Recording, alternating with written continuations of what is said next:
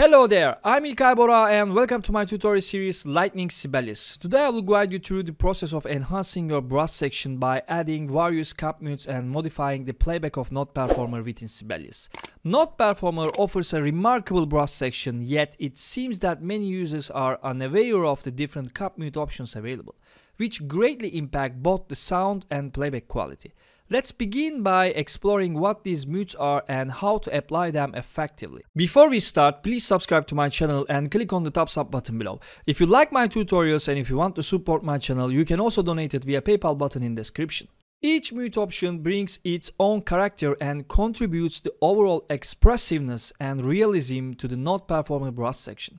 By utilizing these mute possibilities effectively, you can enhance your compositions and achieve a more dynamic and nuanced brass sound. Applying cup mutes is a straightforward process. Simply make a selection of the brass section or a single instrument. Use the Technique text entry command by pressing Ctrl T and enter the name of the desired mute. That's all it takes. Let's listen before and after versions of this passage with the bucket mute.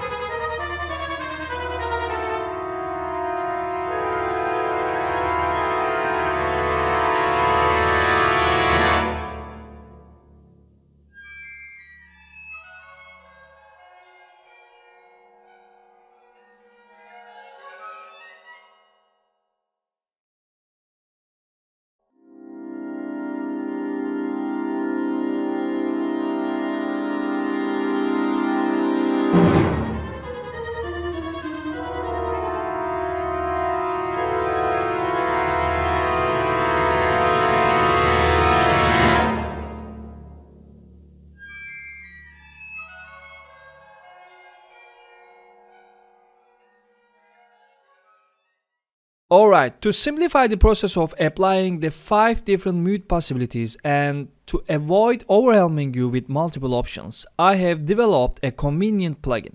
With just a few clicks, you can easily apply the desired mute along with various additional commands from the list.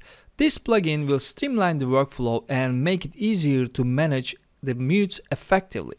It's called Add Brass Mutes plugin.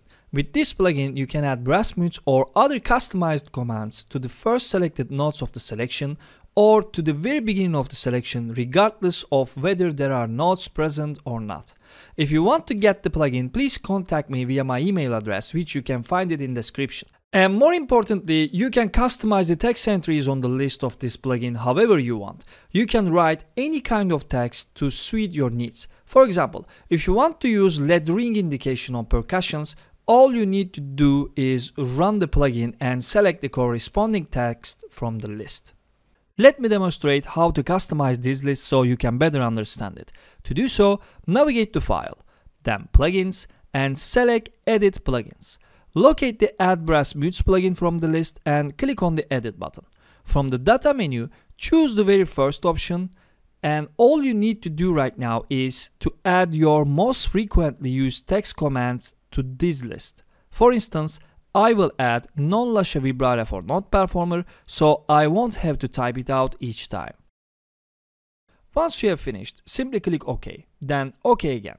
Now, when you run the plugin, you will see the text options on the list ready to be selected.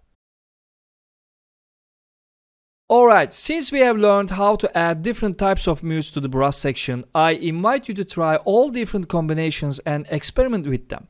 Please document the best results in your knowledge magazine. You can use Add Brass Mutes plugin to fasten this process. Thank you for watching the video. If you like my tutorial series, please subscribe to my channel and click on the thumbs up button below. If you want to support my channel, you can donate it via PayPal link in description.